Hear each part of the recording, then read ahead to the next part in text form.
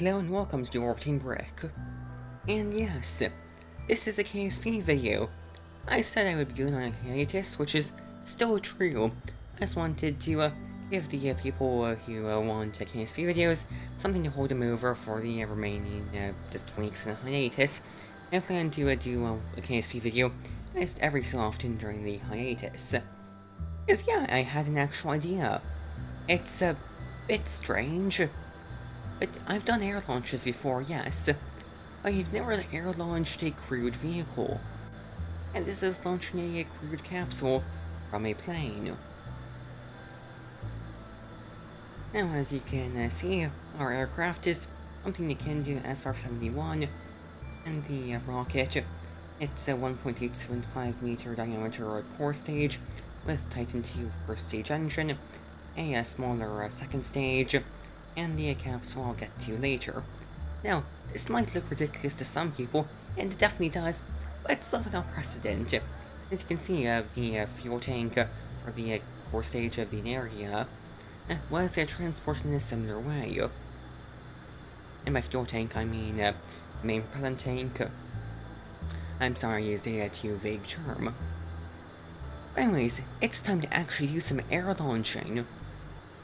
Now, um, this, uh, it, this rocket is a bit interesting to air launch. I'm currently going into a stall and that's uh, suboptimal. And uh, yeah, you might notice I'm using the uh, music uh, that's uh, probably uh, most uh, famous uh, for being used by uh, Shadow Zone in his KSP uh, videos. I felt like that music perfectly encapsulates what's going on here. So I can just uh, watch as uh, I uh, fail several times.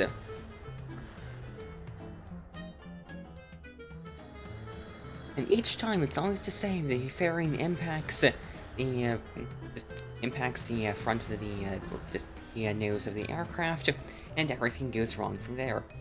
Except now, um, I have, the plane uh, stalled earlier than expected, so we're now heading downwards. And just, yeah, this attempt, it's pretty much dead at this point. I'm still going to try. And fail.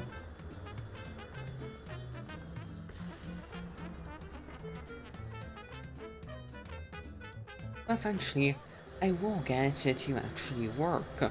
I had done that testing earlier that proved that this can work.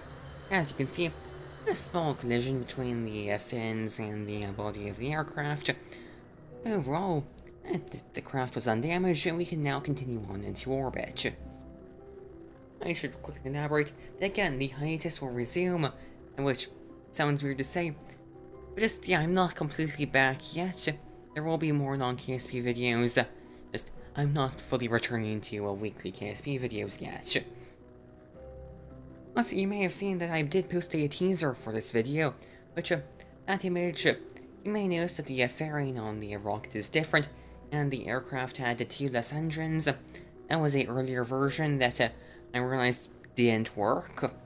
Yeah, I made some modifications that uh, brought it to uh, this design you see here. Now, you can see the uh, spacecraft there. So I'm using a Blue Dog Design Bureau Mercury capsule with a with a bunch of restock uh, parts.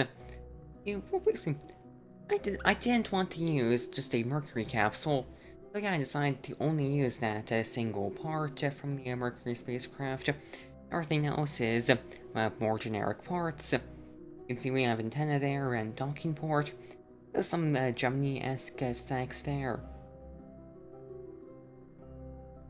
And uh, yeah, I'm using a Universal Storage 2 uh, service bay for the service module of this. And as you can see, we completely detach our, our fuel tank for this upper stage. Because yeah, we uh, we use the RCS for any um, just orbital adjustments and for the orbit burn. Yeah, we're now in orbit.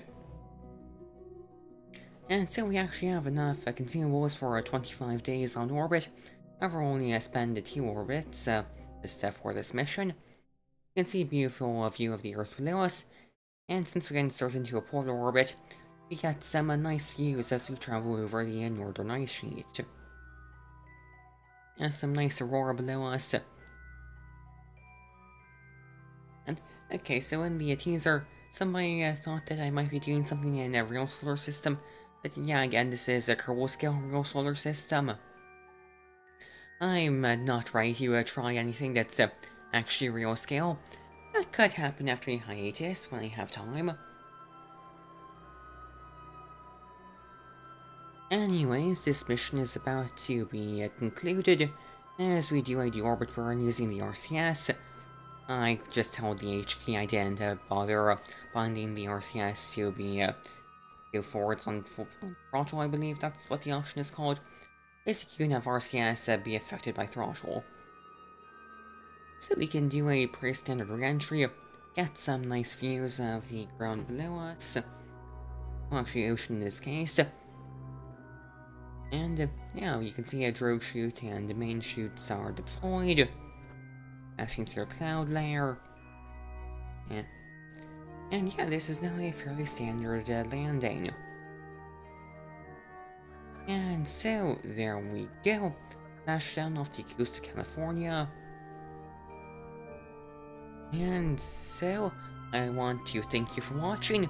Please like and subscribe. And goodbye.